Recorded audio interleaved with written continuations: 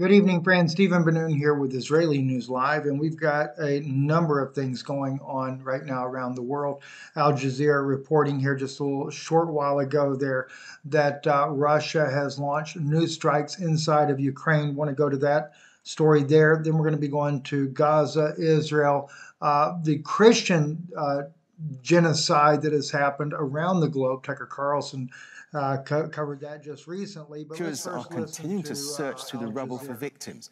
Russia has intensified its attacks in eastern Ukraine in recent weeks. Charles Stratford reports from the site of the attack. Ukrainian emergency services are telling us that what you can see behind me is the destruction left by a so-called glide bomb. This is this new repurposed Soviet-built weaponry that certainly the Ukrainians are saying they're seeing the Russians use a lot more in this area. The big fear here now is the so-called double tap. The Russians increasingly dropping ordnance like this on a given area, waiting around an hour or so, waiting for the emergency services that are busy trying to, we believe, get more bodies from under the rubble, wait until they arrive and then hitting them again. We understand that at least two people were killed in this attack, and as I say, there is a search ongoing for more bodies under the rubble. Three shops are on fire. Behind the shop, the house is on fire. My wife Olga, her friend, and a 14 year old child died there. But we don't know, maybe someone else is still under the rubble. Suddenly, the police tell us there's a Russian drone above. We have to get in the bomb shelter. Inside, a mother grieves her dead daughter on the floor. A third person killed in the attack. We're around 10 kilometers from the Russian border. The authorities here tell us that this village itself has come under attack at least 10 times in the last seven days, and it's an indication. You know what's interesting is to see Al Jazeera actually go more on the west side there. Uh, that generally does not happen, but uh, but it is of interest uh, to say the least there. Uh, also, want to take you to uh, Iran. There is uh, breaking news uh, on two different issues there. Iran closes airspace over the Tehran, citing military maneuvers. Iran's Minister of Defense orders sus- uh, suspension of flights as of midnight tonight. This comes after reports that Iran and its proxies are preparing to carry out an imminent strikes in Israel of course, there has been other news that has come out that's saying that Iran is testing long range missiles. So we really don't know what the case may be. Uh, but then also, we got this report too that Israel. Uh, reports are coming out of Azerbaijan suggests that when, uh, when and if Iran actually strikes Israel, Israel respond, respond from the territory of Azerbaijan to hit Tehran uh, first there. so it really just comes down to who's going to strike who, when, and where. And I do believe this is one of the reasons why the Israelis pulled out of uh, Gaza, not because of humanitarian needs. Uh, and not because they cared about the Palestinian people, but rather because they're getting ready for another front. And Israel cannot afford to have all of its tanks inside of Gaza when there is a front going on with Hezbollah, with Iran, etc. So interesting to, to, say the least there. Scott Ritter brought out some very interesting points too on Israel, uh, saying Israel is losing the war and the IDF won't survive, uh, according to uh, this this counterattack. But uh, let's listen to what Scott Ritter had to say here on uh, Danny uh, uh, program. What the hell Israel's doing here? How do you, as an American, how do you wrap your head around the the absolute failure of your government to stand up for anything. I mean, my God, there's an attack at the Crocus City Hall, terrorism. We're not talking about that anymore either. There's an attack in Moscow, and the United States comes out within minutes and says, We know who did it ISIS. We know who didn't do it Ukraine. Russia, there's no need for you to do this investigation. We know the answer. Um, and, but no, Israel doesn't attack this one vehicle, but they attack the initial vehicle. Second vehicle comes up, takes bodies out, takes survivors out, tries to drive away. Bam, Israel hits that too. The third vehicle comes up, takes the survivors. Puts it in. Bam, Israel hits that too. Not one, but two, but three vehicles targeted by the Israelis after they declared the route they were going on. After they said these are the vehicles that were marked in, were in the timetable. Israel took them out, assassinated them. In the United States, what's the response? We're waiting for the Israeli investigation to uh, to make a final determination about what happened. And if whatever we will respect whatever the Israelis uh, say happened, and you know it's war and war's hell, and sometimes bad things happen. But we're going to wait for the Israeli investigation. So we're going to wait for the Israeli investigation when it's obvious what happened. But we're not going to support any Russian investigation because we we throw out a cover story that falls apart immediately. The hypocrisy of America is uh, is is unreal. I, even today, when when you're supposed to be saying, uh, very true, the hypocrisy of the U.S. government standing behind Israel, regardless of what goes on, that lets you know how much control Israel has over the political narrative in this nation. And uh, in reality, that's that's what it comes down to. They have full control over the political narrative in uh, this nation here. Uh, anyway, Hamas says it doesn't have 40 living hostages required for a ceasefire deal. Let's listen into this uh, this as well. Well, I guess we do not. I thought there was actually to this article was a video with this. Hamas says it doesn't have 40 living hostages required for the ceasefire deal. Israel agreed to the ceasefire deal with uh, that would see the release of 40 women, elderly, and sick hostages, but Hamas reportedly told negotiators it is unable to identify 40 living captives in that category who were kidnapped from Israel more than six months ago. In exchange, Israel would have released hundreds of Palestinian prisoners, and both uh, Israel and Gaza would have had six to eight weeks ceasefire. But Hamas told Egypt and Qatar, uh, international mediators in the negotiations, that it does not have 40 hostages who would be in the category to release, according to the multiple reports. Uh, that is certainly not going to go over very well with the Israeli people uh, or even for that matter, the Israeli government. But nonetheless, uh, you got to kind of wonder what has happened to them. Were they killed by Hamas? Were they killed from starvation? Or did, did they die from starvation? Or did they die in Israeli airstrikes that have been unrelenting all this time? Uh, you know, the the Hannibal doctrine would certainly allow for their deaths and uh, easily blame it on someone else.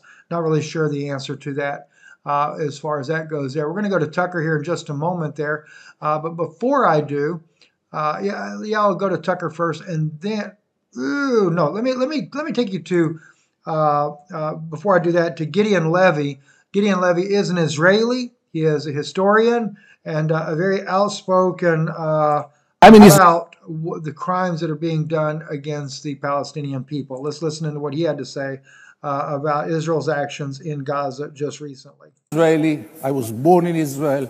I even perceive myself as an Israeli patriot. I care about Israel. I belong to Israel. I'm attached to Israel. Don't speak about symmetry because there is no symmetry. I would even suggest that there is no conflict. Was there a French Algerian conflict?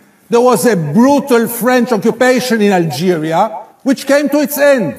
And there is no Israeli Palestinian conflict. There is a brutal Israeli occupation which must come to its end one way or the other. In our backyard, there is a regime which is today by far one of the most cruel, brutal tyrannies on earth. And I know what I say because I cover it for 40 years. And this regime cannot be defined but as an apartheid. Two peoples live on one piece of land. One people has all the rights in the world, and I'm talking now only about the occupied territories. One people has all the rights in the world. The other people has no rights whatsoever. It looks like apartheid. It talks like apartheid. It is apartheid. And nobody can contradict it. Go to the Jordan Valley. See the prosperity in the settlements and then go and see the Palestinians who live there without electricity, without water, without any rights and then tell me if it's apartheid or you might invent it another title. I'm in Israel. That's exactly right. It is apartheid.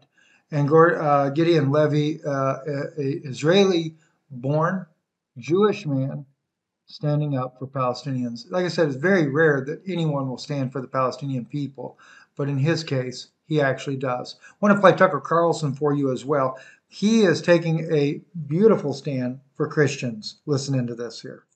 Completely devastated. Nine out of 10 of them are no longer there, they're gone. Um, that was an effect of our foreign policy, but it was almost never noted in the United States and almost never, ever even mentioned by Christian clergy in this country, many of whom supported that war and that occupation. Why is that?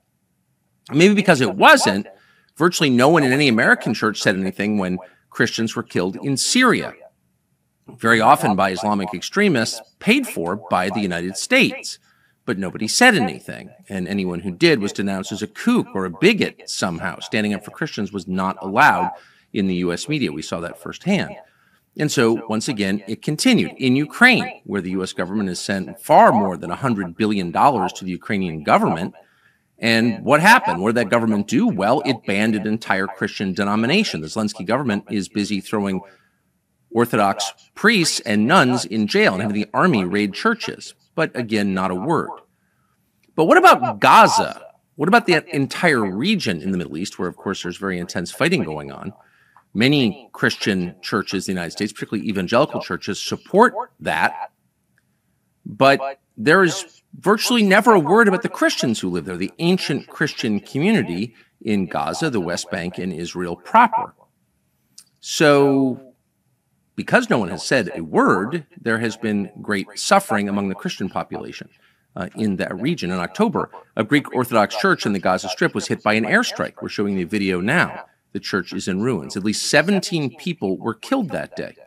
And again, that was hardly the first time that fighting in that region killed Christians. You'll remember the Church of the Nativity in Bethlehem almost 20 years ago, where a, a clergyman was killed in the church with American weapons and Christian clergy in our country said nothing. And you may be asking yourself, well, wait a second. If Christian leaders won't stand up for the lives of Christians, why have them in the first place? And that's probably a good question. So you would think that in Congress, there, where there are many self professed Christians, somebody might be piping up on behalf of uh, their brethren in the Holy Land. But no, just the opposite, in fact. For example, at a town hall event last month, Michigan Congressman Tim Walberg, a former evangelical pastor, said he would like to see the region treated like Hiroshima was treated. Watch this. We shouldn't be spending a dime on humanitarian aid. I agree. It should be like Nagasaki and Hiroshima. Get over quick. The same, the same should be in Ukraine. Defeat Putin quick. Instead of 80% of our funding for Ukraine being used for humanitarian purposes, it should be 80%, 100% to wipe out Russian forces if that's what we want to do. So, to be clear, as a theological matter, Christianity is not the religion of Hiroshima and Nagasaki. It's the religion among all world religions that uniquely abhors mass killing. In fact, it, it is the religion that abhors mass killing. There's no excuse for that from a Christian perspective. And here we have a former pastor calling for it. But again, how are the Christians doing in that region, in Gaza, the West Bank, and in Israel proper? We almost never hear from them. And so we thought it would be interesting and maybe edifying to hear from one right now. The Reverend Munther Ishak is the pastor at the Evangelical Lutheran Christian Church in Bethlehem, and we're honored to have him join us.